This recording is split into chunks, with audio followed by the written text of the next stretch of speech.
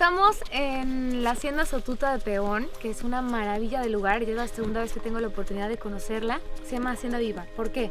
Porque es la única hacienda donde todavía fabrican pues artesanías y cuerdas de enequén. ¿Qué es el enequén? Pues nada más y nada menos que este agave que vemos aquí que es hermoso, de la penca delgadita y la fibra de la penca es la que se usa para hacer este tipo de artesanías, instrumentos muy necesarios en cierta época, pero ahorita ya les contaremos en un tour. Obviamente me acompaña el equipo de danzarias y mi Mint Miranda que me acompañó en Leon Sessions, así es que vamos a.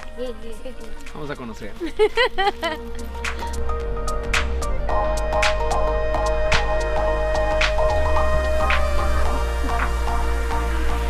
Oye, de agave también se hace cuerda así de fuerte, es lo mismo.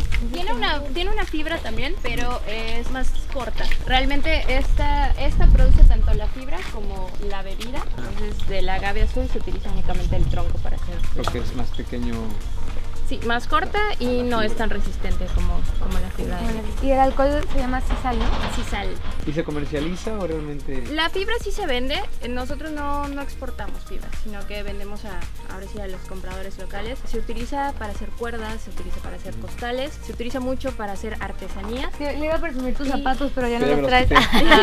Se pican. Y la bebida no la producimos aquí, se produce en Izamal. O sea, aquí nosotros nos dedicamos a trabajar con la fibra.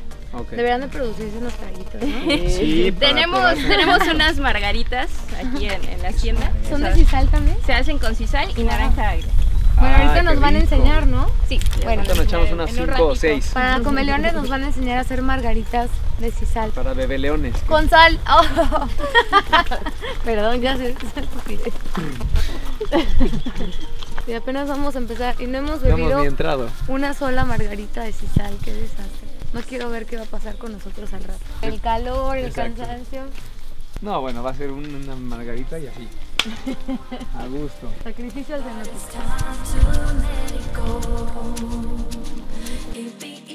Ellas hacen, hacen un, un, masaje muy especial con las manos mayas que van identificando los puntos del cuerpo que están relacionados en las manos, en las piernas, en la cabeza y se encargan de tocar ciertos puntos para estimular la circulación de la sangre y que se relajen esas partes y las terminaciones nerviosas que existen en todo nuestro cuerpo que nos pueden ayudar a encontrar nuestro centro y nuestro zen. Tienen unas manos maravillosas, a mí ya me tocaron con sus manos, sin acá, pero de verdad que si pueden venir a vivir esta experiencia, se los recomiendo muchísimo. ¿Tiene algo que ver con la medicina tradicional china, con el shiatsu y así, o son dos cosas distintas? Bueno, de alguna manera sí están, un poquito relacionados, pero ahora sí se enfocan en, la medicina tradicional aquí en Yucatán. Incluso los aceites, ellos, ellos hacen sus propios aceites con plantas de la región. Siempre tienen capacitación para mejorar todas estas técnicas. Ya son unas expertas, así que si tienen la oportunidad de probar, sí, sí se los recomiendo. Para terminar súper relajados. Sí. Margarita, masaje.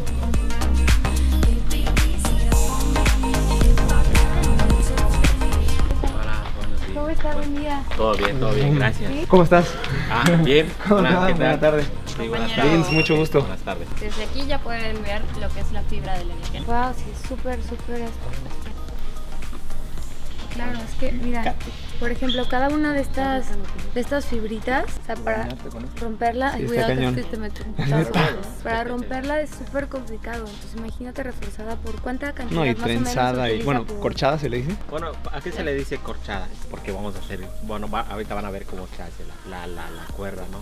Para que tengan un poquito de contexto, la fibra, por supuesto, la extraemos de la planta Solo 10% de cada una de las hojas es fibra y este es el sistema manual que nosotros utilizamos para hacer las cuerdas. 10% de cada una de las hojas. Entonces, esta cantidad ¿a qué equivale?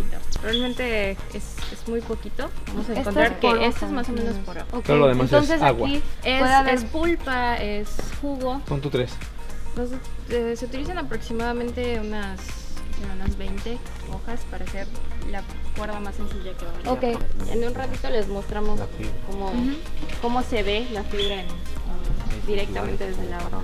Para hacer una de estas cuerdas, mi compañero Chucho tiene que peinar la fibra separar toda la fibra corta, la que se va a quedar entre los picos, de la fibra más larga, más resistente, la que se queda en sus manos y la que se utiliza para hacer la cuerda. Ahora, la fibra corta es la que se utiliza para hacer las esponjas o estropajos, entonces no se desperdicia nada de eso. Ok. Se pueden intentar. ¿Sí? Debe ser difícil, ¿puedo intentarlo? Es, es difícil, la fibra Solo es que ya está fina. Ah, entonces ya me lo No. fui. fibra, fibra nueva. Fibra nueva. Claro, dice, fibra ya se lo facilité. Claro. Quiero que le cueste Este está trabajo. un poquito más- más- Y eso que va sobrando se utiliza para hacer otro tipo de cuerda más pequeña Eh, o otro. Estropajos, esponjas para el baño principalmente. Pues así como le. Venga, Marie. Tengo temor. Sí. Se veía Bueno. fácil, ¿verdad? No, Cuidado. está Cuando se atore la fibra hay que levantarla. Ajá. Entonces la idea es empezar con las puntas. Con las pun- como el cabello. Así más o menos yo lo hago con mi cabello, que ahora que está bien sano. Ay, María, así de.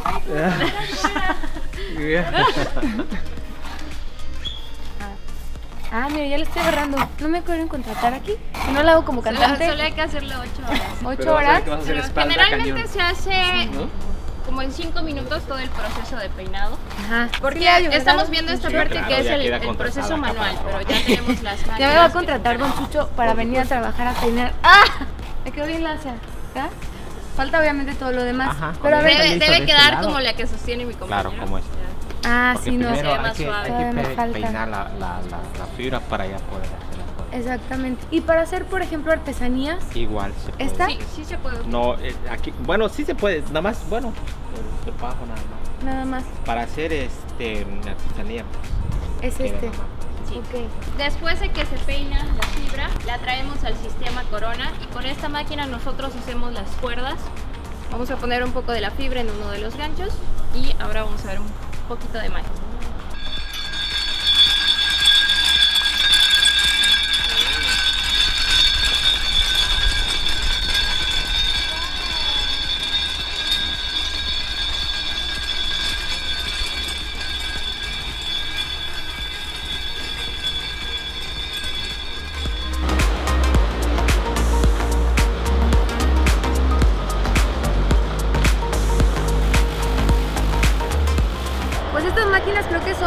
8 horas pueden la fibra de 7000 hojitas, 7000 pencas. Y todo lo que sale de ahí, que es como la pulpa, se utiliza como alimento para los animales de la hacienda o como fertilizantes. Es que nada se desperdicia.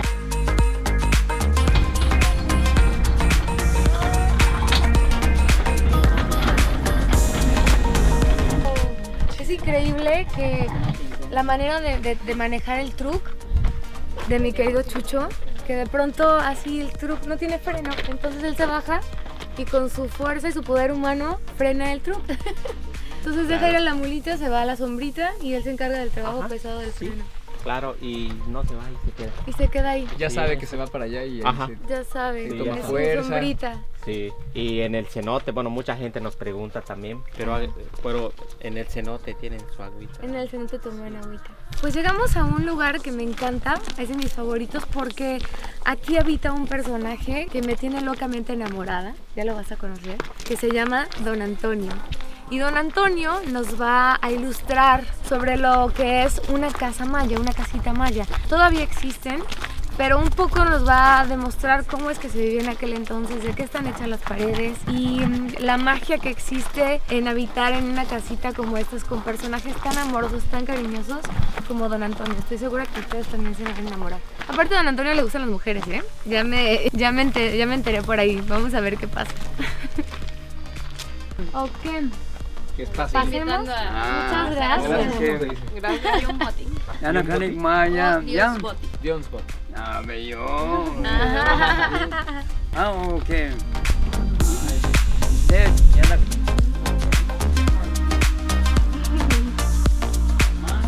Este es de. Anakin. Exacto. Esta marca es de Anakin. Está increíble esta maca. Esta sí la, la pueden probar. Don Antonio, don Antonio. Bueno, ya, ya hablo. Tu. Sí, está contento. Pagata waye ashima te dukate. Ay, Está muchas contento de gracias. recibirlos. Nosotros estamos muy contentos de visitarlo a usted. Deixate tahki ma ki osa. Takola wile dukate. Está muy, muy contento de, de recibirlos. Muchísimas gracias. Dios Moti. Yung boti. O Yumboti. Yumboti. Yang uche ma ko bo kit kala yung. Eh, sí. No sé Yung qué es- yung boti. Es el señor Dios. Ahora por eso se utiliza Dios Boti. Antes era Yumboti. Ah, Uche, Dios, uche. Dios Moti. Bela, ula, ula, bela, yo bote. Hoy se dice cambiando, Dios bote. cambiando. Claro, hoy se dice Dios Moti. Estas casitas eran como, como ustedes vivían cuando usted era Sí, pequeño. pues aquí, aquí estoy, es mi casa aquí, porque amanece, estoy acá. Qué fresca está tu Estoy casa. acá. Sí, y está súper a gusto. Por eso, aquí estoy. Don Antonio, Malo. muchas gracias. Malo, Un saludo bien moderno. Malo. Muchas gracias. Yo, es, Malo. es, Malo. es- es malo, malo, malo, Malo, malo. malo, bien. Malo. Malo. ¿Tú bien? ¿O no? Nada más. Que si van a nadar. Sí, vamos a Ah, nadar. Don. Antonio, quería decirle Gracias. muchas, muchas gracias por dejarnos entrar a su casita. Malo. La pasamos muy bien, aprendimos muchas cosas. Ojalá yo tuviera mejor memoria, la verdad. Y. Malo. Tenés que guayo, che, pues sí, ya lo sé. Deberemos tener muy buena memoria como usted. ¿Qué es mi hitixto? En náhuatl. Ah, Nahuatl, Ajá. Hitixto. Perfecto. Gracias, don Antonio. ¿qué palabra idioma? Nahuatl, Nahuatl, Ajá. Kitty, Hitixto. Tol. Se lo aprendió completamente. Gracias. Malo. Mm, Yo lo voy a besar, yo besar. Yo bote, Y ahora sí, yo bote. Dios bote. Y me shit, en parque. Gracias. Bueno, pues este, estamos listos para entrar al cenote, un Estamos cenote listos. Sagrado. De hecho, en, en estas 300 hectáreas que tiene la hacienda seguramente habrá más cenotes por descubrir. Es un, un tierro de piedra caliza, ocho cenotes en la hacienda. O sea que la verdad, Mérida y Yucatán en general es un territorio del, del círculo de, de- de cenotes que existen por, el- por la llegada del, del este, meteorito. Todo es piedra caliza y vamos a ver un ejemplo de un cenote precioso. Pero bueno, antes de todo esto, el ritual es mojarnos sin acá en esas regaderas porque es la preparación psicológica. Eso quiere decir que el agua está a una temperatura deliciosa, exquisita y me voy a quitar mis chanclas porque son Psicológica y además supongo para quitarte si traes bloqueador, lo que sea, para no contaminar el agua, que es importante, ¿no? Bañarse sí, sí. con agua Hay que bañarse. es importante. Es importante. Ese es el bañada. mensaje. Una, dos, Venga. tres. Ay, güey. Claro, si le atiras. Sí, exacto. Ay, verga. Ya lo sé. Vamos pues. Sí, aquí hay como una especie de como de bao.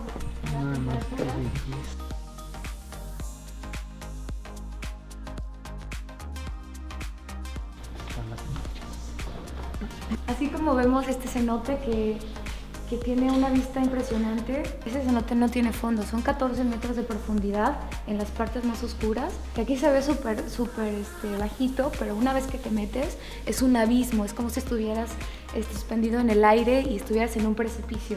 O sea, eso que vemos en el fondo no es el... Lo- sobre todo las partes de allá están Allá. conectadas con otros ríos subterráneos, entonces es un cenote que no tiene fondo. ¿Qué tal está? Ah, está deliciosa. ¿Sí? Y es en serio.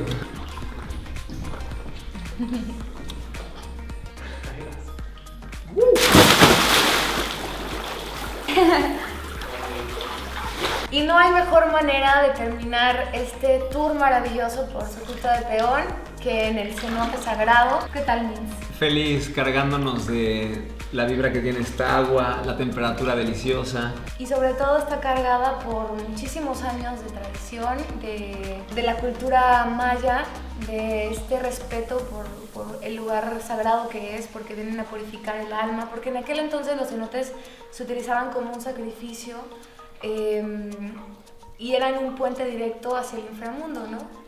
Vengan a Mérida, Mérida es hermosa, es bellísima, solamente en Yucatán podemos encontrar estos fenómenos que, tienen que visitar y no hay mejor manera de terminar este tour que con esto y con Así buena es. compañía. Así es que vengan a Sotuta de Peón, vengan a Mérida Vengan a reconectarse, a encontrarse con su verdadero ser y a gozar. Y de la a, y a ¿no? tomar sal, que eso es bien importante. claro, antes de meterse.